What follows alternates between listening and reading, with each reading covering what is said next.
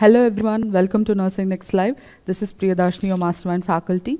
Today I have come up with an interesting news. From today we are going to start the series called the side effect series of the important drugs that is asked in the nursing competitive examination.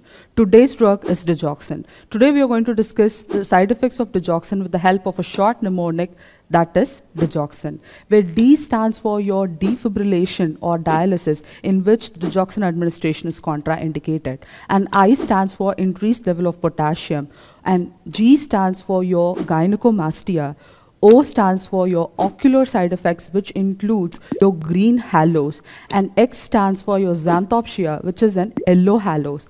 And at last, I stands for increased risk of arrhythmias. The most common arrhythmia which is related to your digoxin toxicity is ventricular bigeminy. At last, N stands for your nausea and vomiting. I hope this video was greatly helpful for you. Thanks for watching.